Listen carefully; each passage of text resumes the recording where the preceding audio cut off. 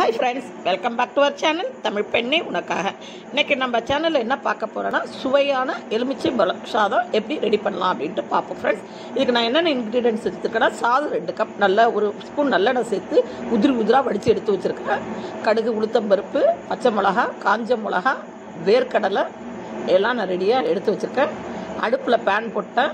ரெண்டு table spoon நல்லெண்ணெய். இது கட்டாயமாக நல்லெண்ணெய் தான் சேர்க்கணும். அப்போ தான் ருசியாக இருக்கும். நல்லெண்ணெய் சூடு வந்தோன்னா கடுகு உளுத்தம் பருப்பு போட்டு நல்லா பொரிய விடணும். அதுக்கப்புறம் ஒரு பச்சை மிளகாவை குட்டி குட்டியாக நல்லா சாப் பண்ணி வச்சுருக்கணும். அதை எடுத்து போட்டுட்டு நல்லா வதக்கி விட்டுருங்க.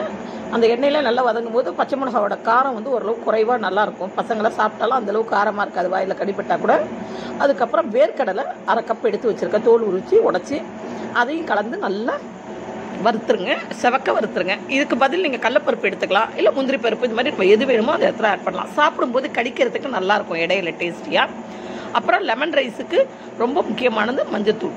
அந்த டெக்ஸ்சர் அழகாக வரும். நல்லா ஒரு டேபிள் ஸ்பூன் அளவுக்கு மஞ்சத்தூள் எடுத்துக்கலாம். போட்டு நல்லா கிண்டி விடுங்க. இப்போ பார்த்தீங்கன்னா காஞ்சி மிளகா ஒரு மூணு காஞ்ச மிளகா கிள்ளி வச்சுருக்கேன். அதையும் ஆட் பண்ணிட்டேன். எல்லாமே நல்லா கொதிக்கட்டும். இப்போ பெரிய சைஸ் லெமன் ஒன்று எடுத்திருக்கேன். இதை வந்து விதை இல்லாமல் நல்லா ஸ்குவீஸ் பண்ணி விட்டுருங்க. சின்ன சைஸ் லெமனாக தான் ரெண்டு எடுத்துக்கோங்க. நல்லா லெமன் ஊற்றுறதுக்கப்புறம் ரொம்ப கொதிக்க விட்டுறாதீங்க. முப்பது செகண்ட்லேருந்து ஒன் மினிட்குள்ளே கொதிக்க விட்டு இறக்கிடுங்க. கருவேப்பிலை போட்டு லைட்டாக கிண்டி விட்டு இறக்கிடுறேன். இந்த கலவையை அப்படியே நான் சாதம் வேக வச்சு எடுத்து வச்சுருக்கேன் இல்லையா? அதில் கொட்டி பொறுமையாக சாதம் உடஞ்சிடாமல் கிண்டி விடணும். நான் வந்து அந்த கலவை கொதிக்கும் போது உப்பு போட மறந்துட்டேன். அதனால் பார்த்தீங்கன்னா இதை மிக்சர் பண்ணும்போது தூள் உப்பு சாதத்தில் எல்லா இடத்துலையும் தூவி விட்டுட்டு ஒரு ஸ்பூனால் சாதம் உடையாமல் இருக்க பொறுமையாக அழகாக எடுத்து கிண்டி விடணும். நீங்கள் நல்லா கிண்டினதுக்கப்புறம் அப்படியே அந்த ஏனத்தை பிடிச்சி நல்லா அழகாக நம்ம குளுக்கணும்னா எல்லா இடத்துலையும் நல்லா பரவிடும். ரொம்ப எம்மியான டேஸ்டியான ஒரு லெமன் ரைஸ் அவ்வளோ நல்லா இருந்துச்சு. இதுக்கு பெஸ்ட்டு காம்பினேஷன் உருளைக்கிழங்கு வறுவல் அப்படி இல்லை கூழ்வடம் ரெண்டுமே எம்மியாக இருக்கும்.